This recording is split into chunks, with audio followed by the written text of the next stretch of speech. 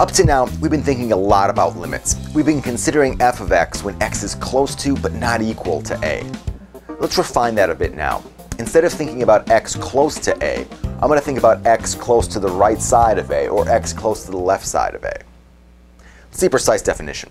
So to say the limit of f of x as x approaches a from the right, I'm going to use this little plus sign to mean from the right, to say that this is equal to L means that f of x is as close as you want to L, so just like before, provided x is near enough a on the right-hand side. So we're going to use the little plus sign to denote approaching from the right-hand side. Now we can play the same game for approaching from the left-hand side. So to say the limit of f of x as x approaches a from the left-hand side is equal to L means that f of x is as close as you want to L, just like usual, provided x is near enough a on the left-hand side.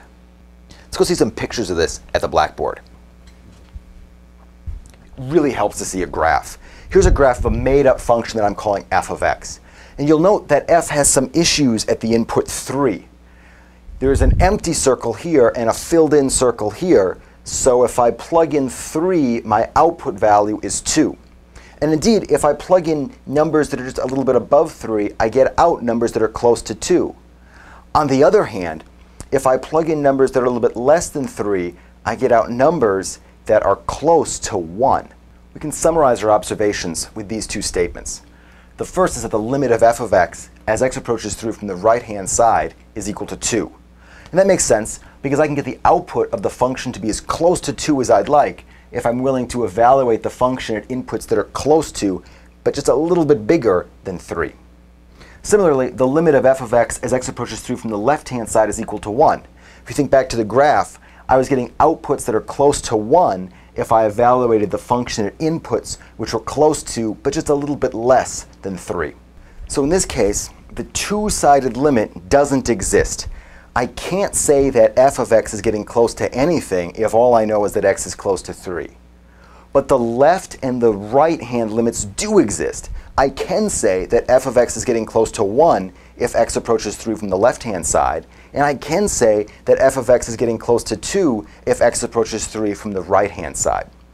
This situation comes up quite a bit, where you compute and you find that the right and the left-hand limits exist, but they disagree, and consequently, the two-sided limit doesn't exist.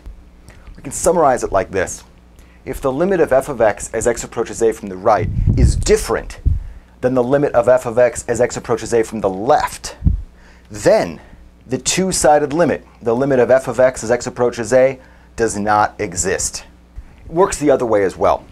If the limit from the right-hand side is equal to the limit from the left-hand side, let's call their common value L, then the two-sided limit, the limit of f of x as x approaches a, no plus or minus, so this is just the usual old limit, then this limit exists and it's equal to that same common value, L. The homework will challenge you with many more situations of one-sided limits.